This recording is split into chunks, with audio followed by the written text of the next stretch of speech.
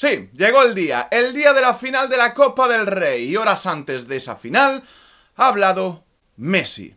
Ahora todos hablan. El Camp Nou celebrando. Te marchaste tú del chiringuito. Hay una verdad. ¿Qué pasa, majos? ¿Cómo estáis? Primero de todo, primero de todo.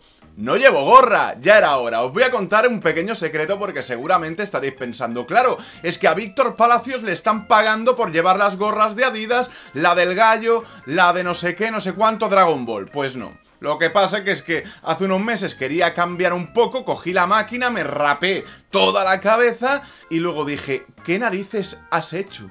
¿Pero qué has hecho? Y bueno, ya va creciendo un poco, eh, pero poco a poco, porque, joder, es que nos vamos haciendo mayores ya. Me he visto en el futuro y, y calvo, calvo voy a ser... Bueno, basta de bromas, vamos a empezar a hablar de esa final de la Copa del Rey, o mejor dicho, de las palabras de Leo Messi. Salieron tres jugadores después de la debacle contra el Liverpool y la mayoría en redes sociales a hablar, a hablar a la afición después de esa lamentable derrota y ahora el Barça está haciendo una especie de recogida de jugadores para hablar, para hablar de la final de la Copa del Rey. ¿Por qué? Para que le demos valor. Para que le demos valor. Para que coja relevancia. Una relevancia realmente tapada por esa debacle en Champions hasta el punto de que Leo Messi haya salido en rueda de prensa, algo que no hacía desde, bueno, hacía una purra de tiempo. Por supuesto, aparte de la final, se ha centrado en muchos otros titulares de la actualidad del Barça que vamos a repasar y de los cuales voy a opinar, sinceramente, y sin tapujos, porque creo, vamos, en algunos no estoy nada de acuerdo. Valverde no tuvo la culpa de lo del Liverpool. Messi zanja el debate sobre Valverde. Me gustaría que siguiera en el Barça. Más claro, Leo, no ha podido ser. Pero ojo, porque también habló de Antoine Griezmann y su posible fichaje por el Barça. Y ostras, yo creo que, que, quien calla otorga. No opino de Griezmann, así que no entró a valorar posibles cambios en la plantilla y fue, pues bueno, rotundo con este tema de Griezmann. Un tema que en las últimas horas se va apagando en Barcelona, que desde el club intentan filtrar de alguna manera que ya no está tan claro el hecho de que quieran ficharle. ¿Y por qué?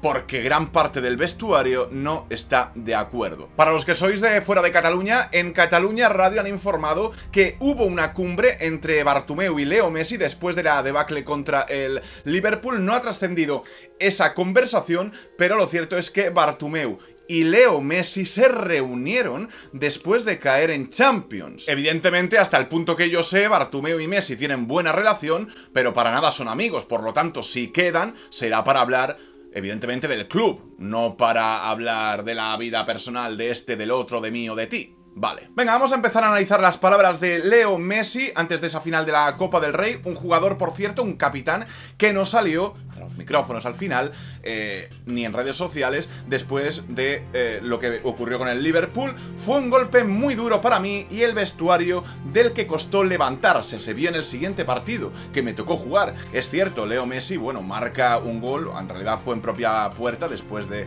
de caer contra el Liverpool en Liga, marca gol y la cara de Messi es de total frustración de un jugador hundido, por lo tanto yo no niego evidentemente que a Messi pues le doliera que eh, se cayera en Champions, eso yo creo que nadie lo, lo puede negar. El golpe fue durísimo, ahora llega una final, nos jugamos un título y la posibilidad de hacer un doblete, hay que acabar bien dentro de lo que cabe el año, dentro de lo que cabe, ¿eh? Hay que ganar como en todas las finales que jugamos, vamos a buscar el título. También ha subrayado esto, lo que nos pasó en Liverpool fue lamentable, así que de alguna manera hace autocrítica, reconoce que el golpe fue duro para absolutamente todo el mundo, no solo para, para la afición. Eh, la afición lo único que podía hacer al final es animar, o sea, los que tenían un resultado de 3 a 0 eran los jugadores del Barça y los que tenían todas las posibilidades de pasar eran ellos, volvía a suceder lo de Roma, en fin, eh, y, al final lo que hace es un llamamiento para eh, estar todos unidos para conseguir un doblete. Ojo a esto, ¿eh? Me gustaría que Valverde siguiera como dije recién. Te puede gustar o no, pero el año pasado hicimos doblete, quedó manchado por la eliminación de Champions y la manera que fue. Ahora peleamos por otro doblete, con una mancha mucho más grande, la de Liverpool. Si te pones a pensar, se han perdido dos partidos en dos años. El problema es cómo fueron. El resto del año fue bueno. ¡Ay! ahí quiero entrar yo. Claro, el análisis resultadista, de Messi en este caso, es bueno. O sea, conseguir dos dobletes seguidos es maravilloso. ¿Que queda manchado por la Champions? Pues sí. ¿Que has vuelto a cometer el mismo error? Pues también. O sea, ¿para qué lo vamos a negar? Muy bien Messi en ese aspecto resultadista. Pero entonces, el problema es cómo fueron, dice.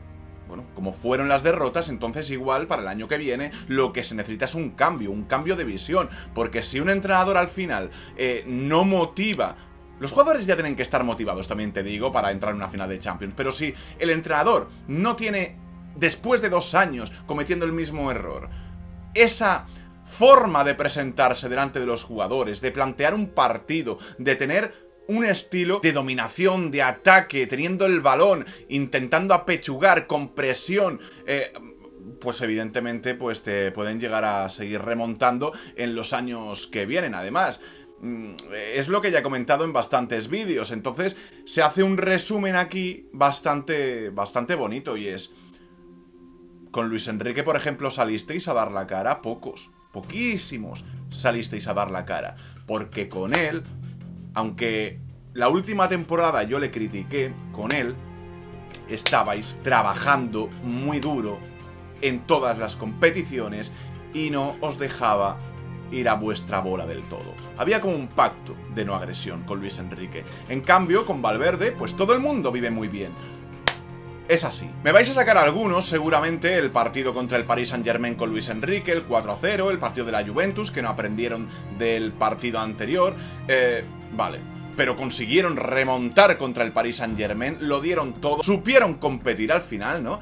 Y, por otra parte, no es lo mismo eh, llevar un resultado de 4 a 1 y de 3 a 0 que te metan en la ida una goleada, ¿no? Que para la vuelta, pues encima tienes que remar. En este caso lo único que tienes que hacer es saber llevar tu resultado. Es muy distinto. Y es eso, que, podemos eh, anclarnos, como, como dice Leo, en el resultadismo. Y evidentemente un club lo que tiene que hacer es ganar. Pero cuando ganas, y fallan cosas, porque fallan bastantes cosas, es cuando hay que hacer los cambios. Y no me cansaré de repetirlo en este canal. Así me pase 50 vídeos diciendo lo mismo. En Liga, en Copa, es que eso no falla. No falla para Ernesto Valverde, no fallan los jugadores. Pero no digamos que solo han sido dos partidos en dos años, porque han podido caer en bastantes más.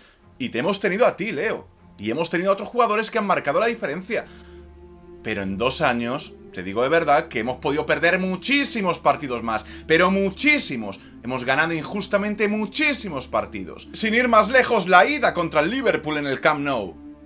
Por eso, pienso que hay que fijarse en otras cosas. No solo en el doblete o no doblete en que si ganamos la Copa del Rey o no la ganamos. Llama la atención esta parte donde culpa enormemente a los jugadores de la caída contra el Liverpool. No leí mucho las críticas sobre el Mister después del partido. Creo que hizo un trabajo impresionante todo el tiempo que estuvo aquí en la eliminación con el Liverpool no tuvo culpa, no tuvo culpa, dice Leo Messi. Los jugadores somos los únicos culpables de este partido. No podía pasar lo mismo que el año anterior en Roma y pasó. Hicimos un partido lamentable. La imagen que dejamos en dos años seguidos de estar en una final de Champions no se podía permitir que pasara lo mismo. El Mister tiene parte de culpa, pero los que tenemos más parte somos nosotros vamos a seguir así, porque evidentemente y más después de estas palabras de Leo Messi, sin duda Valverde, yo creo que salvo catástrofe monumental hoy contra el Valencia, digo un 0-3, eh, un 1-3 y con una imagen lamentable del Barça, salvo un resultado así, pienso que Bartumeu no le va a despedir, que la única posibilidad de que Valverde no continúe el próximo año en el Fútbol Club Barcelona es única y exclusivamente que dimita o que el Valencia nos meta 80. También Messi quiso dejar claro que va a continuar en el Fútbol Club Barcelona, quedar eliminado de la Champions no me hace pensar en dejar el Barça, con lo cual deja tranquilo a gran parte de la afición que podía pensar en algún momento determinado que podría hacer una escapada, como a veces hace con Argentina cuando no se consigue ningún título, pero mm, evidentemente Leo Messi eh, recalca que no va a salir del Fútbol Club Barcelona por otra derrota en Champions. Eh, lo que sí que es cierto es que es una pena, ¿no? Es una absoluta pena que estemos desaprovechando en Europa al mejor jugador del mundo. Ahora, también te digo una cosa: si el año que viene sigue Valverde y pasa algo similar a lo de los últimos dos años, oye, pena no me daría ninguna por Leo Messi. ¿Qué quiero decir? Que si quieren a Valverde, mm, que si quieren mover el timón del Fútbol Club Barcelona, que lo muevan, pero que ganen. O al menos que no hagan el ridículo. Porque claro, ayer a Messi también le recordaron aquello que dijo a principio de temporada delante de todo el Camp Nou con un micrófono. La copa tan linda, la copa de la Champions. ¿Qué pasa con aquellas palabras? Bueno, Messi dice que no se arrepiente de haberlas dicho, no prometió en ningún momento traer la copa, sino hacer todo lo posible por traerla. De Liverpool no hay que pedir perdón por perdón. Bueno, eh, perdón por perder, sino por la forma, está mal escrito aquí. Por no haber competido el pase a la final. Es verdad, yo lo llevo repitiendo desde principio de temporada. Messi en ningún momento prometió traer la Champions delante del Camp Nou. Lo que prometió es que iban a hacer lo posible y lo imposible por traerla. Pero en cualquier caso, la promesa no ha surtido efecto. Al menos por parte de todo el grupo. Yo creo que Messi sí. Messi ha luchado como nadie. Se vio en la ida contra el Liverpool, que sacó al equipo de las cenizas pero por parte de los demás, evidentemente, no se ha cumplido porque no se ha competido. Bueno, majos, espero que os haya gustado el vídeo. Si es así, dadle a like, suscribíos y nada, nos vemos en el siguiente. Hoy final de copa, que vaya bien.